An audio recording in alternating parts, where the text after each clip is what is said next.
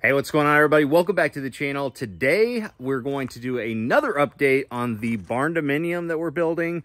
Uh, a lot has been happening. Um, we just got back from uh, Lake Eufaula uh, last week and had a decent start to the, the Bassmaster Open season. And now it's back to the grind, you know, building this because we, we have two weeks now, officially two weeks before our, um, our first baby is uh, going to be born. Riley Elizabeth, she's coming fast. And so I'm trying to get everything ready, at least the downstairs, you know, to uh, to be able to live downstairs because we don't want to move into the the uh, fifth wheel if we we can help it. But let's go ahead do a, a real quick update. So a lot of things have have changed as far as our plans. The biggest thing that has changed has been the flooring. Originally, we were just going to do the concrete, you know, the concrete slab and just have it open. But a few things, um, you know, kind of made me decide to go another route. Number one, I couldn't figure out the best solution. You know, we ended up buying some uh, some uh, acid stain stuff, but everything that I was hearing online was you know, saying it, it's very difficult to install, which is not something I'm looking to, to get into, you know, an, another really big project. Uh, but more importantly, you never know what you're going to get when it comes to the, uh, the acid stain. Um, and so, you know, we decided um, that, and then we were also thinking that we were going to do like a, just a clear coat on it and just kind of uh, seal it and see how that looked. But then I just finally gave up and ended up getting this uh, vinyl flooring. So these vinyl planks. And so that's been my project this week, um, getting these vinyl planks put in. So far, it's going really well. This, this stuff is actually pretty easy to work with. The main thing is just to make sure that you don't have any little gaps and that any tiny sliver of a gap that, that um, comes up, you end up um, you know, taking care of it before you move to the next row. Um, but yeah, it's it's working out pretty well right now. Uh, we also have to put this six mil plastic down because, of course, we've got the uh, the concrete below it, so the concrete will sweat, I guess. And so we put this stuff down. Another thing that you got to make sure is is to make sure to keep everything clean underneath. So I guess this is this stuff is pretty temperamental if you've got like uneven floors or you got things underneath it. So I've constantly had to sweep it, and you can see it just constantly gets dirty again.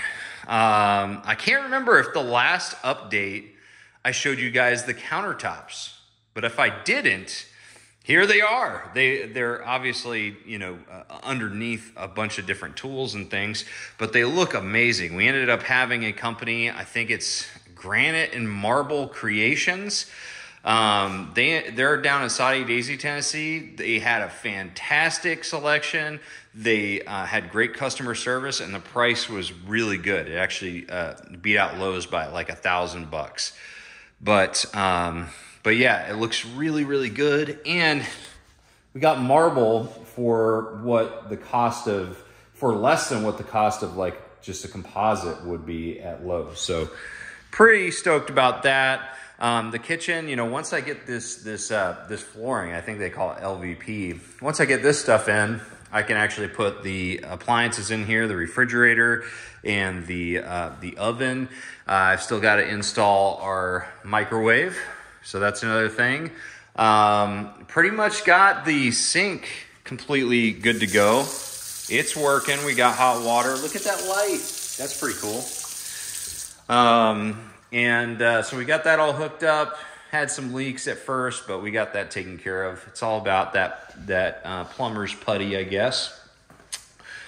Um, another big thing. So big shout out to Mark June. Um, you know, he he came over and he helped me uh, with this. He's a he's a friend of mine from the fishing world, and he helped me with this uh, this staircase. I mean, it's been an incredible process, uh, and and just having so many friends. Uh, come over and help has been very humbling and and much appreciated. So thank you to everybody that has come over here to help on this project. Um, and uh, yeah, especially I need to give a special shout out to, to Ed Mangold. He he he really um, this project wouldn't be where it's at if it wasn't for him. So uh, got to give him a shout out again. But we've got the stairs done. Uh, I ended up doing these stairs. This is just, you know, simple plate uh, or pine planks. There's, you know, there's some, some, um, little, uh, you know, imperfections on it, but we're going to end up just covering this with carpet next week. So the carpet company's coming.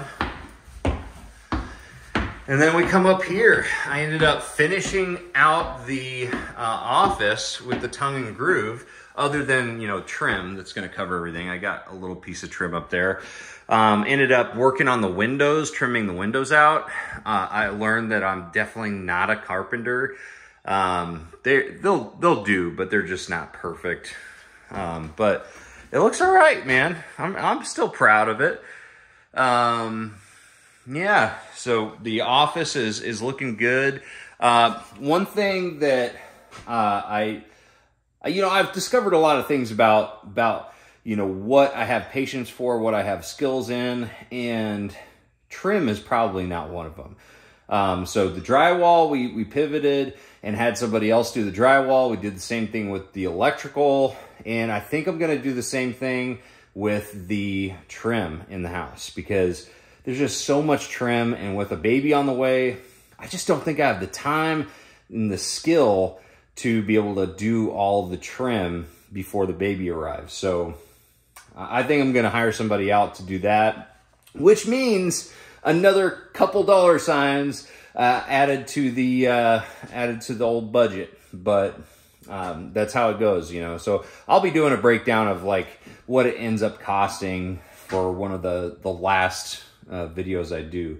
But I think that it's going to be a good move just having a professional come in here and get all the uh, the trim dialed in because, you know, I just am running out of time. So, but but yeah, I mean the office looks cool. I put up this shelf. Another example of like it it'll work. Um, we're kind of in that that um, that mode right now. We went from. Uh, that's not quite right to, uh, you know, oh, good enough to screw it. it, it that, I mean, that's kind of the, the, the, uh, the process that I've been going through with a lot of these projects is at first you're looking for perfection, then you're looking for just good enough, and then you're looking for just get it done. Um, and uh, so a lot of what you're seeing here is kind of like that. Obviously, I'm going to be putting another one of these right here. Obviously, we, you need another one. Uh, I just haven't done it yet. So before you drop those comments, just know that I'm adding another one. I might, might actually add two more because this is going to be a trophy shelf of all my trophies. And uh, it's going to be quite heavy, so got to make sure that it's uh, it's stout. But anyways, um, cleaned up today, so the the house is is uh, looking really good up here um, because we got the the painters coming tomorrow. My, my friends Brandon and Jay uh, Marlowe, they're coming over to help with the the painting, and then we also have the carpet coming over uh, next week. So I wanted to make sure that everything was clean. There's still a lot of dust. Oh my gosh. These houses, when they're being built, I didn't realize how much dust is is in these things. So um, this is, I mean, we're going to be dealing with dust for, for years probably. Um, but yeah, oh, oh, oh, I almost forgot. We've got railings on the porch now. I don't have to watch watch out for Doppler and, and constantly, uh, you know, worry about them when we're hanging out here on the porch. Um, I decided to just uh, have the um, the company that's doing our screen and the railing, you know, once they put the railing in, I was like, man, with all the trim work we've got, really the only way we could get long pieces of trim, you know, 12, 16 feet, that sort of thing, is, you know, through this this balcony here.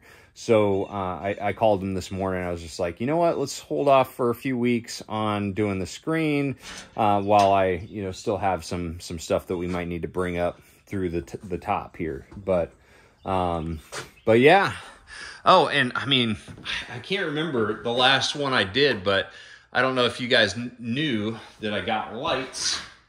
Everything's working, so we've got power all throughout the the um, the the house Um, we did have a hiccup with one of the mini splits. Uh, the mini split external unit, there was a, a, leak, so we're getting that replaced, and uh, you know, no big deal, under warranty, all that sort of thing. But um, so the two uh, internal units that were running off of that external unit didn't work. But what's nuts about these, if you guys are on the fence about going with, uh, you know, like a um, a mini split or just a regular, uh, you know, HVAC system, uh, duct, ducted HVAC system, uh, these mini splits work incredibly well. So I've been running, you know, the three that are still working, um, and man, it run it, it, it it works perfectly in the entire house. So um, these things are killer, both AC and heat. It will keep this thing uh, pretty toasty and cool. And we've got to kind of uh, experiment with both of those because uh, we've had a lot of nice warm weather as well as cold weather. But anyways, that is what's going on in the build. Um, you know, there's been a lot of, of curveballs, like I said, uh, throughout this process. I've learned a lot about myself and what I, I'm, I'm pretty handy. I'm pretty capable, but patience is not something that I have. And I don't have a lot of time anyways, because, you know, I've got a career to, to, uh, you know, to, to keep pushing at. And, uh, you know, and I kind of came to the realization uh, in the last couple months is, you know, saving money is great. And so the concept of, of doing things yourself to save money is great. Um, but, you know, that requires you to take away from your, your job, your business, your career, uh, in, while you're trying to complete that, that project at least in my case, there's plenty of people out there that have enough time and they can des designate uh, a lot of, of their energy to a project like this. And that may make, make sense to go ahead and, and uh, you know, try to save a lot of money by doing a lot of things yourself. But I have found that, man, we're getting close to, to what the upper range of our budget was initially. And, uh, and, you know, so I saved a little bit. I say, you know, I saved some good money by doing a lot of this myself, but honestly, I'd rather go out and make more money than save money at this point. So, uh, just, just a, kind of a word of caution for people that are, are looking at it from just the cost standpoint. It may be a more, uh, it may be better to just, uh, make more money and focus on on you know things that are going to be bringing cash in as opposed to saving money in a process like this it really depends on what your your skill set is your patience level uh, the time that you have on your hands and all that sort of thing but just some thoughts that i had uh, throughout this process but anyways everything is looking great everybody that i've, I've worked with on this project uh, especially summertown metals who provided the materials package for this this um, project. They were incredible. Um, they're very easy to work with, and um, you can see, you know, we we have quite a few, uh, quite a bit of lumber left after this this project. So um, they added a little bit extra in there too. But um, overall, SummertownMetals.com. Go check them out. They are incredible if you're looking for a residential garage, commercial building, or uh, barn dominium like this one right here. So uh, thank you guys for watching. Make sure you like, share, subscribe. If you have any questions about the barn dominium build, uh, leave a comment in the comment section below. I'm going to see you guys, well, here in the barndo.